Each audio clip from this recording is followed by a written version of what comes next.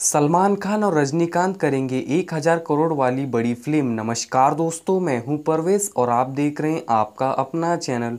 दोस्तों, south film industry के सबसे बड़े सुपरस्टार रजनीकांत एक ऐसी फ़िल्म बनाने जा रहे हैं, जो बॉलीवुड के साथ साथ हॉलीवुड इंडस्ट्री से भी काफ़ी बड़ी मानी जा रही है। इस फ़िल्म का बजट करीब एक हज़ार करोड़ रुपये से ज़्यादा बताया जा रहा है। इस फ़िल्म में मुख्य किरदार में रूप में रजनीकांत होंगे। वही खलनायक की भूमिका में बॉलीवुड के फ़िल्म इंडस्ट्री के सुपरस्टार सलमान खान को साइन करवाने की बात चल रही है। वही हम आपको बता दें कि इस फ़िल्म में सलमान खान की एंट्री हो जाती है तो रजनीकांत और सलमान खान के फैंस के लिए काफ़ी बड़ी खुशखबरी होगी।